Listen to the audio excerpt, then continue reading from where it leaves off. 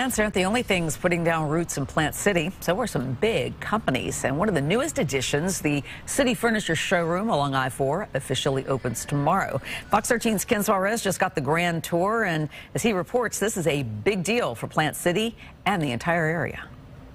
City Furniture seems as big as a small city, covering 12 football fields. It's about 160,000 square feet. Along with furniture in every shape and size, you'll find a wine and coffee bar dozens of possible diversions to dive into, and even more importantly, economic opportunity. It's bringing 500 new jobs to the area. In terms of salary, it ranges, but the average starting salary is about $50,000. City Furniture is just the latest corporate coup here. Just down I-4 a bit sits yet another get, a giant warehouse built by the Sudler companies for future tenants. Sudler could have settled anywhere, but chose Plant City for a couple of reasons. Obviously, direct access to the I 4 between Tampa and Orlando, but particularly we picked Plant City because of its uh, business friendly environment. Also, not far from here, Amazon and a number of sprawling warehouses have moved in. As new businesses begin to call this home, so do new residents. We're seeing an increase in, in the residential developments that are that are coming into the area as well. So um,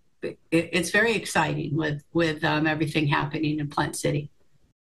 And that was our Ken Suarez reporting. So here's what's happening at City Furniture over the next few days. They just had their ribbon cutting at 5 o'clock. Tomorrow is the grand opening. Then there will be sales and giveaways. They're doing that all weekend long. That place is huge. It You're going to have to huge. wear your sneakers to go through there and shop, you know? Absolutely. So